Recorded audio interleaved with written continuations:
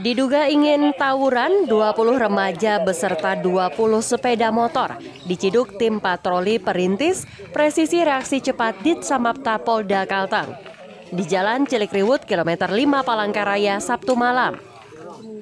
Kanit PPRC, Inspektur Polisi 1 Eko Basuki mengatakan, saat polisi mendatangi belakang kolam renang, Jalan Cilikriwut, para remaja sedang berada di atas sepeda motornya.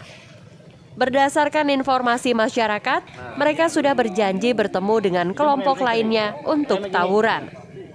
Untuk memastikan ada tidaknya senjata tajam maupun barang berbahaya lainnya, polisi menggeledah badan dan sepeda motor mereka.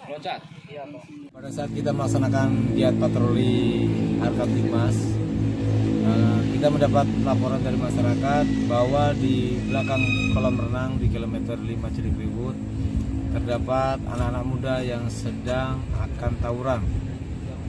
Kemudian kita bersama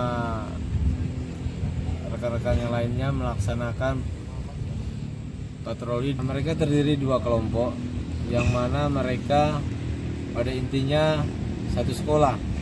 Di sekolah mereka saling ejek dan kebetulan malam ini mereka mengumpulkan rekan-rekannya dan teman-temannya yang lain yang bukan satu sekolah untuk tawuran di kilometer 5 belakang kolam renang. Berarti mereka janjian dulu, Pak ya?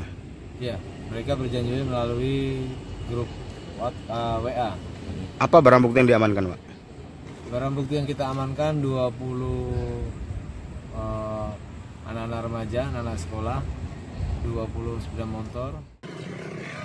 Walaupun polisi tidak menemukan sajam dan barang berbahaya lainnya, untuk pengusutan lebih lanjut, puluhan remaja dan sepeda motornya dibawa ke kantor polisi. Polisi akan memanggil orang tua mereka agar membinanya dengan baik. Dari Palangkaraya, Ririn Binti dan Abimanyu Wahyu Aprianto melaporkan.